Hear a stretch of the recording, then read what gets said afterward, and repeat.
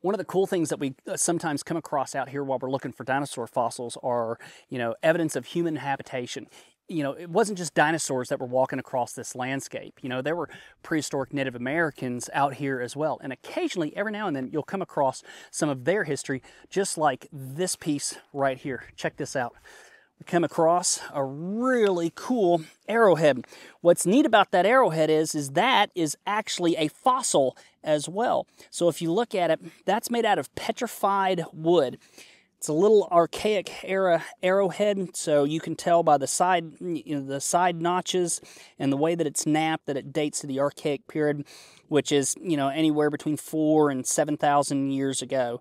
So it's a really neat, cool artifact that we have literally way out here in the middle of nowhere. So while we're out here hunting for dinosaurs, we never know when we might come across some really cool human history as well.